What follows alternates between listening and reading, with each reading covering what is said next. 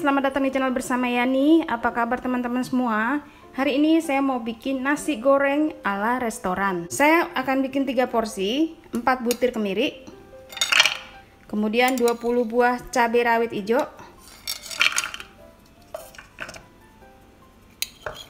Satu buah terasi. Satu buah tomat.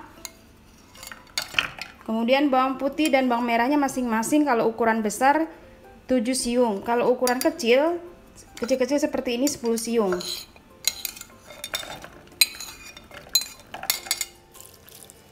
Bumbunya dihaluskan, saya menggunakan chopper dari Mito Chiba Elektronik. Ini Magic Chopper, bisa menghaluskan daging dan bahan-bahan lainnya.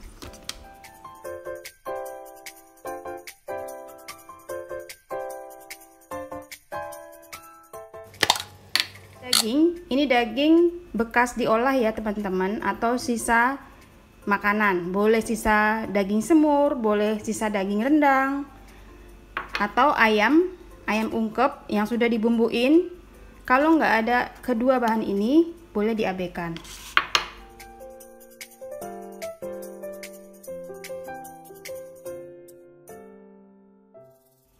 Kemudian satu batang daun bawang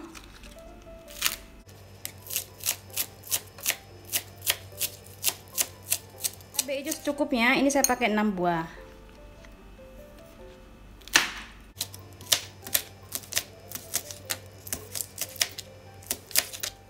Empat butir telur. Kecap manis. Saus tiram. Panaskan wajan kemudian beri sedikit minyak goreng ini minyaknya kurang lebih 7 sendok makan ya lalu masukkan telur terlebih dahulu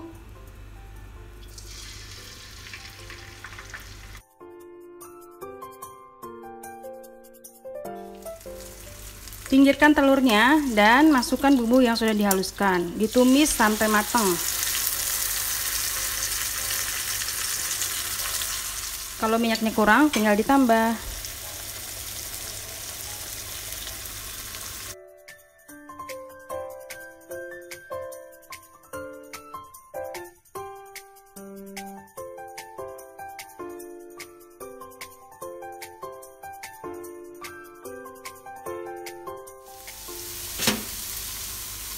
Nasinya untuk tiga porsi masuk. Boleh nasi baru boleh nasi yang kemarin.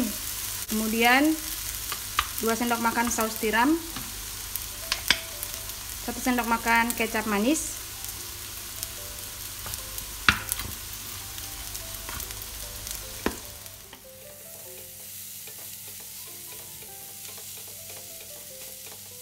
Tiga per 4 sendok makan kaldu bubuk setengah sendok makan garam setengah sendok makan gula pasir 1 sendok teh lada bubuk.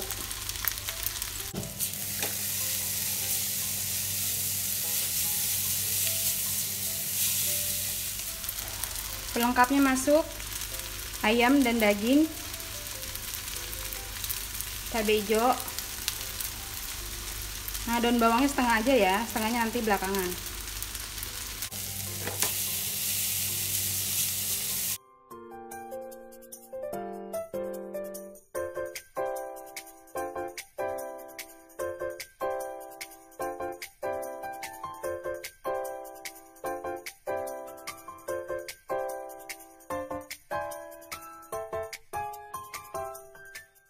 diaduk-aduk seperti ini. Kalau mau tambah kering sesuaikan dengan selera tambah enak sih sebenarnya. Oke sudah selesai.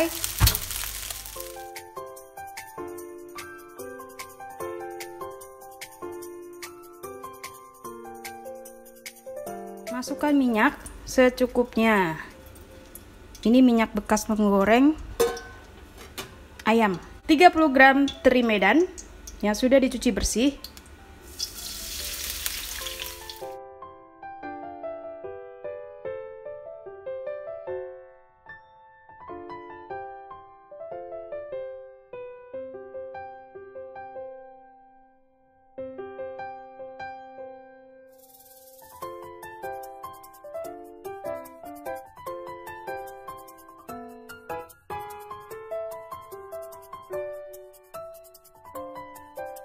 Bumbunya 4 siung bawang putih, kalau kecil 5, kemudian 4 siung bawang merah.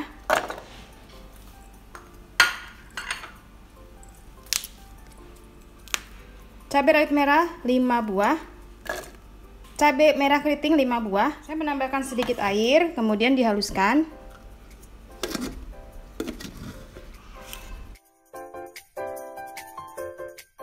Lalu bumbunya dihaluskan, saya menggunakan food processor keluaran dari Mito.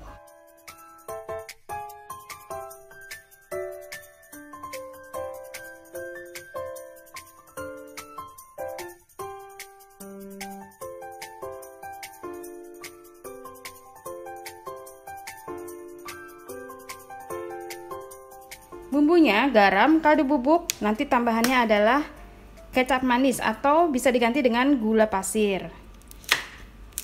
Cabai rawitnya diiris-iris.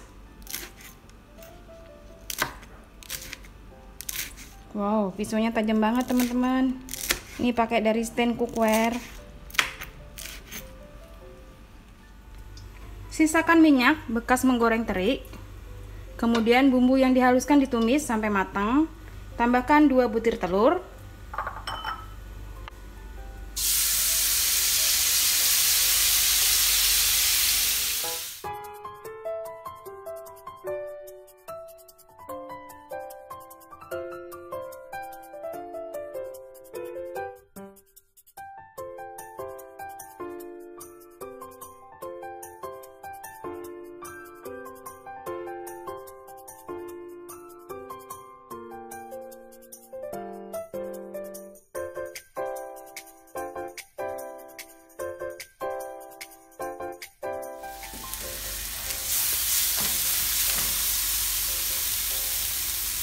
Lalu masukkan nasinya.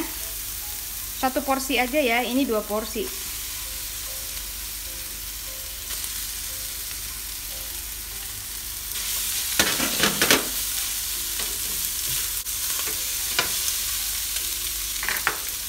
Kaldu bubuk garam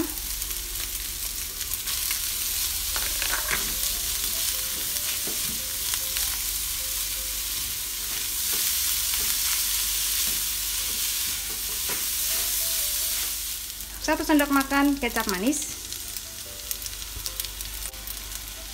Satu sendok makan saus tiram.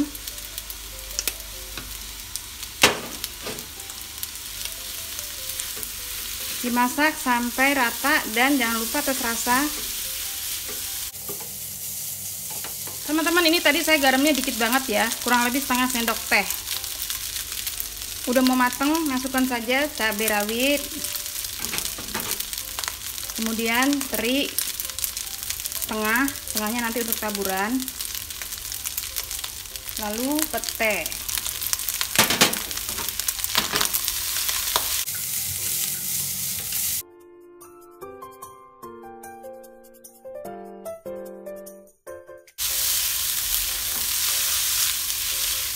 sudah selesai. Jangan lupa tes rasa